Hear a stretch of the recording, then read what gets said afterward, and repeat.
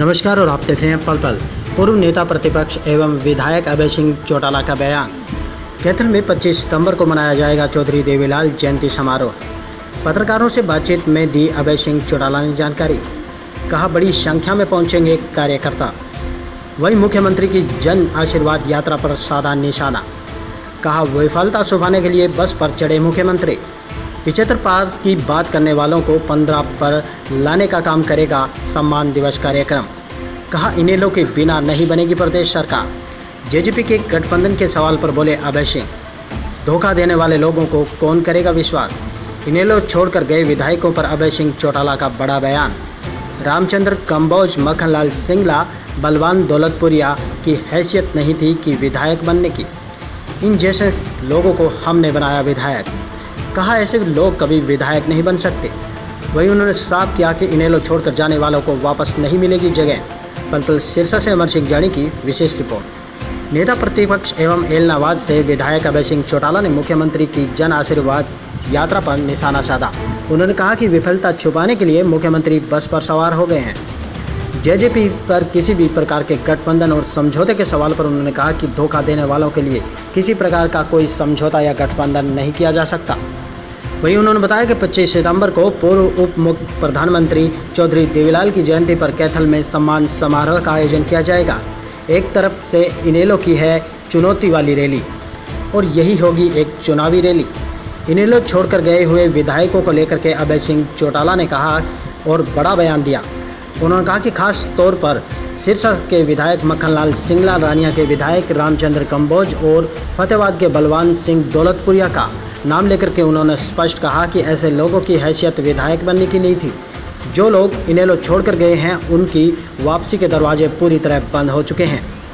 अभय सिंह ने कहा कि जो लोग इनेलो छोड़ करके भाजपा में शामिल हो रहे हैं, वहाँ उनका अपमान हो रहा है। अब देख रहे हैं पल पल की ये विशेष रिपोर्ट। चौधरी देवीलाल जी के जन्मदिन को सम्मान दिवस के रूप में 25 सितंबर को मनाते हैं। इस बार चौधरी साहब के जन्मदिन को हम कैथल की अनाज मंडी में मनाने का काम करेंगे और वही लाखों की संख्या में लोग आएँगे और उनके प्रति अपने श्रद्धा सुमन अर्पित करेंगे। आपको भी निमंत्रण है और मैं प्रदेश भर के पार्टी के कार्यकर्ताओं के। सब हम उनसे मिलकर के उनकी जिम्मेवारी लगाऊँगा और उसके साथ साथ क्योंकि इलेक्शन ईयर है, और इस इलेक्शन ईयर में उस दिन इस बात पे भी मोर लगेगी कि आने वाली सरकार जो है वो इंडियन नेशनल लोकदल पार्टी की बनेगी। मुझे पूरा विश्वास और भरोसा है प्रदेश की जनता पे कि वो बड़ी संख्या में आकर के बीजेपी की सरकार को उखाड़ने का संकल्प लेगी, वही कांग्रेस को सत्ता से बाहर रखेगी और इंडियन नेशनल लोकदल पार्टी को सत्ता में लाने का संकल्प लेकर के जाएगी। और थोड़े दिन बाद जो विधानसभा का चुनाव होगा, उसमें जो पिछहत्तर पार की बात करने वाले हैं, उनको पंद्रह पे ला करके रोकने का काम करेगी। आज जो प्रदेश के हालात जिस तरह से कानून व्यवस्था का आज दिवाड़ा पिटा हुआ है, आज दिन कोई ऐसा नहीं जाता जिस दिन इस प्रदेश में तीन से चार रेप की घटनाएँ ना होती। कोई दिन ऐसा नहीं जाता प्रदेश में जिस दिन तीन चार लोगों को, बेकसूर लोगों को मौत के घाट ना उतार दिया गया। अनेक चोरी की वारदात होती है। हमारा नौजवान जो है, युवा जो है, पंजाब में एक वक्त ऐसी चर्चा थी कि पूरा पंजाब नशे की चपेट में आ गया।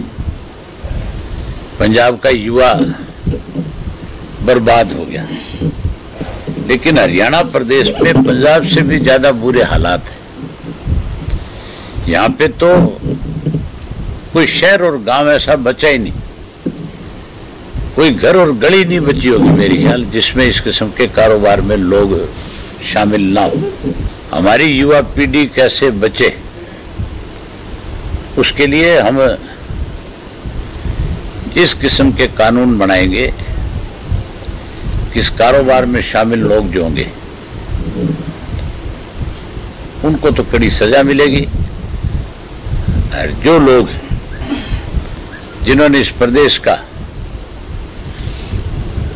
इस नशे की गर्त में डबोने का काम किया, ऐसे लोगों को भी नहीं बख्शेंगे, ऐसे लोगों के खिलाफ भी कार्रवाई करेंगे। आज मुख्यमंत्री जो लगातार लोगों को गुमराह कर रहे हैं। रोज़ाना नई नई घोषणाएँ कर रहे हैं। पाँच वर्ष में तो कोई काम किया नहीं। अब कैसे मतदाता को बरगड़ाया जाए? इसके लिए बस पे चढ़ गया। और बस पे चढ़ करके ऊपर से ज़ोर ज़ोर से आवाज़ें मार मार के कहता है कि मुझे फिर पाँच वर्ष के लिए मौका दे दो मैं आपके इलाके के लिए फला काम करूँगा, फला काम करूँगा। हमने सेशन में मुख्यमंत्री से कहा था कि पाँच वर्ष का लेखा जोखा अब आप अपनी आखिरी स्पीच में देख करके जाना। लेकिन हैरानी की बात है, मुख्यमंत्री ने जब रिप्लाई दिया, उसमें एक शब्द भी अपने पाँच वर्ष के कार्यकाल के बारे में मुख्यमंत्री हाउस को बता नहीं पाया।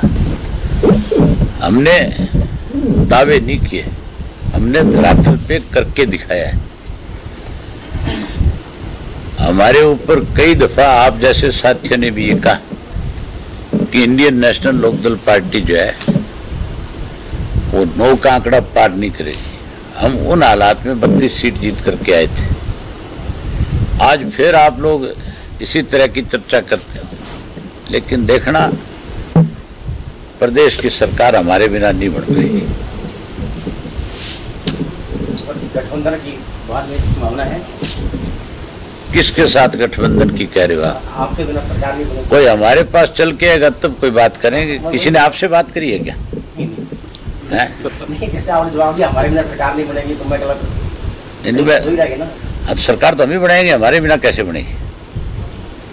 आपके पास कोई आया क्या गठबंधन वाला? नहीं नहीं। है? कोई आए तो मुझे बताना ज़रूर। अब ये मान के चलो कि हमारे बिना सरकार नहीं बन सकती ना। ये हर आदमी कहता है। तो फिर आपको भी ये कहना चाहिए भी सरकार तो लोग दली बनाएगा। दोनों परिवारों की दूरियाँ ये फजूल के सवाल जो है ना आप करने बंद कर दो।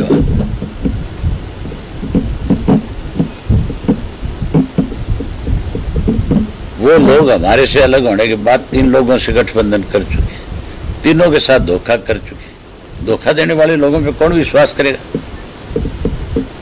रामचंद्र कंबोज क्या अपने दम पे विधायक बना था? मक्खन सिंगला क्या?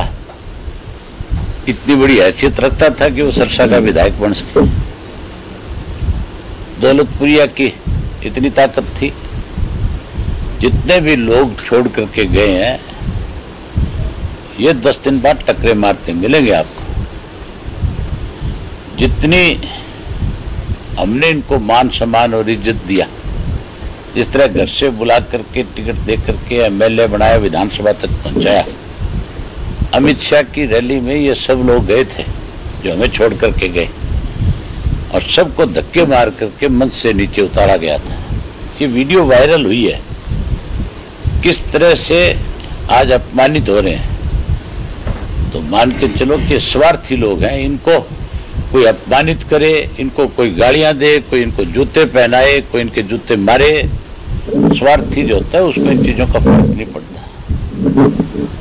आज चुनाव आएगा, तब देखना लोग इनका कैसा वेलकम करते